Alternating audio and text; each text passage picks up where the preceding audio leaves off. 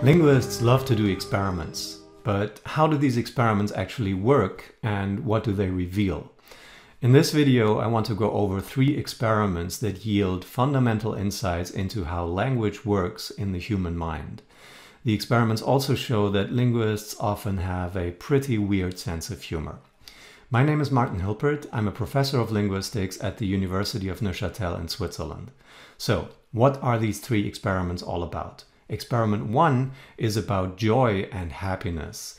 The design of the experiment is extremely simple. The participants were shown a picture of a person and all they had to do was answer one simple question, namely, what emotion is this person experiencing? Is it joy or is it happiness? Now, joy and happiness are two very similar emotions, but in English, we talk about them in different ways. With joy, I can say something like, I'm full of joy, or she was overflowing with joy, brimming over with joy, or I could even say that joy welled up inside me. In other words, I'm talking about joy as if it were a liquid inside my body. And indeed, it has been argued that this is how we understand what joy actually is. Now, happiness, by contrast, is something that you are searching for. Yeah? Can be very hard to find, but you have to keep looking for it. You have to pursue it. And in the end, you may actually find it. Now, with this in mind, the experimenters showed the picture of the person to three different groups of people. Group A were people in libraries or grocery stores. They were looking for the right book or the right food item that they wanted to buy. So, in essence, they were people who were searching for something. And the hypothesis was that these people would be more likely to respond to the picture by saying, that person is experiencing happiness because the idea of searching for something was already active in their minds.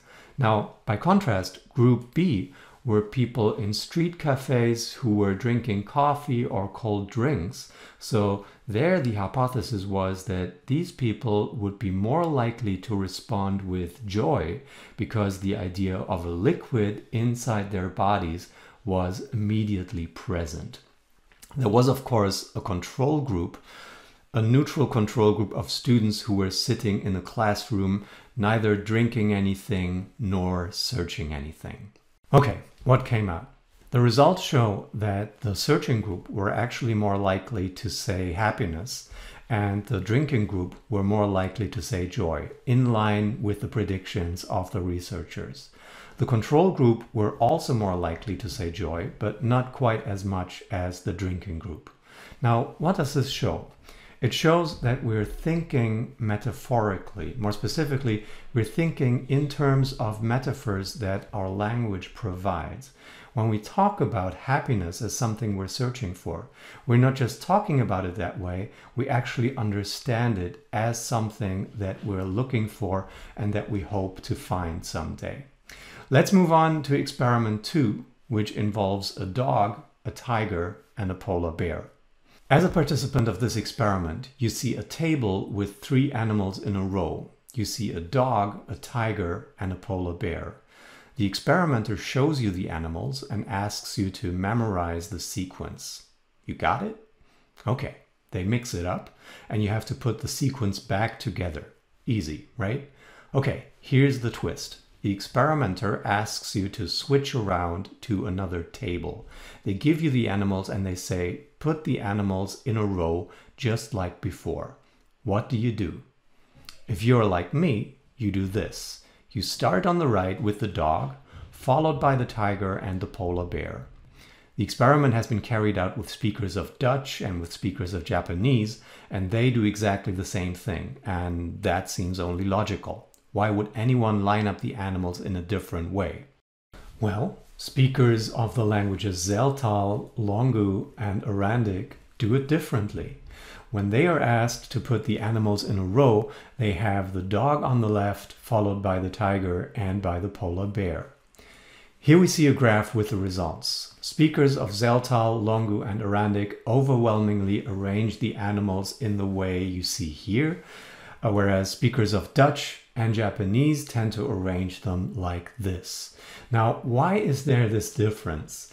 The explanation has to do with the fact that languages such as Tseltal and Longgu have a way of expressing spatial relations in a way that differs a lot from the way Dutch and Japanese do it. Dutch, Japanese, and also French, Spanish, English, and German have words for left and right that are relative to the speaker. So what's left to me is actually on your right if we're opposite one another.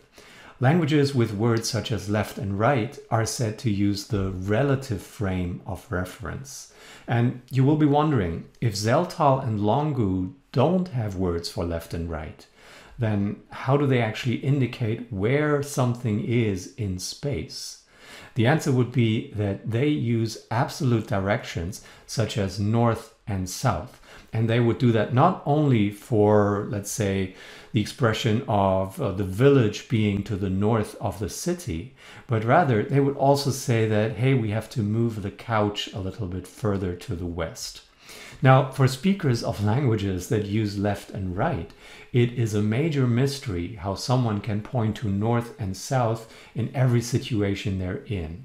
The intriguing observation is that speakers of Tseltal and actually many more absolute frame of reference languages are perfectly capable of doing that, even in the dark, even when they're not in their everyday surroundings. The animals in a row experiment yields one very important insight, namely that the language that you speak affects how you think. And in this particular case, the way your language lets you talk about space affects how you arrange toy animals when you're supposed to put them in a row just as before. For speakers of languages with absolute frames of reference, that means that if the animals were facing south before, you're going to put them facing south again. If your language lets you talk about left and right, then, well, if they were facing left before, you're going to make to face them left again. Some of you may know that this fundamental insight has a name. It's called the Sapir-Whorf hypothesis, and it comes in different versions. The strongest version of it is that language is something like a prison for your thoughts. If you don't have words for something, then you can't express it and you can't even think about it. Now, in this very strong version, the hypothesis is wrong. However, uh, the version of the Sapir-Whorf hypothesis that has a lot of support for it is that your thoughts are often guided by your language. Your language makes it easier to think in one way than in another. Let me turn to experiment three, which has to do with the sounds of language. Linguists call these sounds phonemes, and the experiment investigates how speakers hear these phonemes. The study is from the year 1957, so Elvis Presley was doing the Jailhouse Rock. The first satellite was launched into space. Dr. Seuss wrote The Cat in the Hat, and Noam Chomsky wrote Syntactic Structures. So, arguably, this is, well, the second most exciting event in linguistics in 1957. Um, let's take a look at how the experiment works. The experiment is a so-called ABX task. That is, the participant hears three sounds in a row. Sounds A and B are different from one another, and sound X is identical either to A or to B. As a participant, you have to decide whether X is the same as A or whether it is the same as B. That sounds easy, right? In the actual experiments, we have our participant in front of a computer screen and the participant has to press either the A key or the B key depending on whether the X sound is identical to either A or B. Let's check out how this works in practice.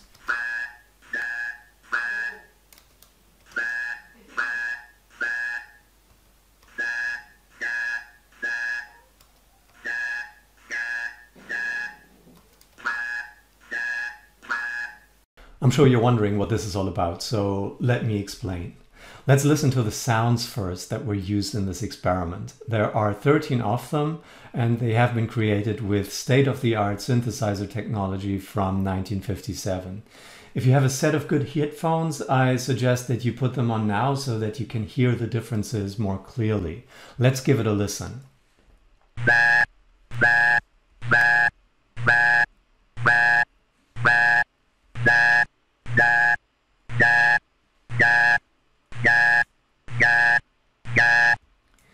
What most speakers of English hear is a continuum from sounds that resemble a ba to a da and then a ga. Three different phonemes of English, b, d, and g. When you play the continuum, you start with ba up to a certain point, and then it suddenly sounds like da, and the last ones sound like ga. What I've indicated on the slide here with the red lines are the boundaries between phonemes. So step five still sounds like ba, and step six already sounds like da. The sounds in this experiment are combinations that are exactly three steps apart on the continuum. So if step A is 2, then B is 5, and so on and so forth. So what this means is that there are some A-B combinations that are within the boundaries of one phoneme, and other A-B combinations reach across a phoneme boundary. For example, if we have steps 4 and 7, a sounds like ba and uh, 7 sounds like da, so it should actually be easy to distinguish the two.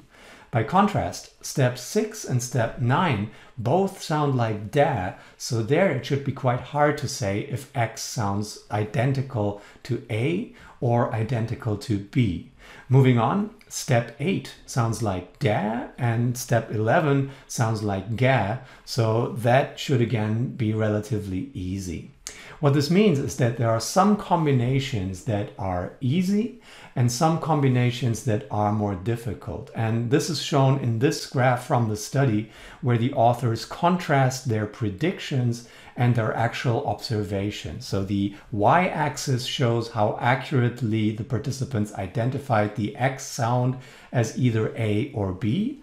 Uh, points high up mean that uh, most answers were correct and points that are lower, they indicate that participants were often unable to distinguish between A and B. Um, the observations are not as drastic as the predictions, but they are actually in line with them. So combinations are easier when they reach across phoneme boundaries and they're harder to distinguish when the participants have to hear variants of the same phoneme. The fundamental insight here is that speech sounds are heard as categories. When we perceive two sounds as different, uh, that is because in our language, those sounds instantiate different phonemes. Two sounds can be objectively different, but if they fall into the same category, that means that we'll find it hard to hear a difference. And among other things, this actually explains why we find it so hard to learn the sounds of a second language. So speakers of French, for instance, differentiate between sounds that speakers of English would categorize as the same and vice versa. So I hope to have given you a little taste of linguistic experiments and how they work. If you want to find out more about language and linguistics, there are more than 100 videos on this channel. And if there are any linguistic topics that you would like to know more about but can't find anything on this channel, let me know in the comments and I'll try if I can make something happen. That's it for now. Thanks for watching and see you soon. Bye.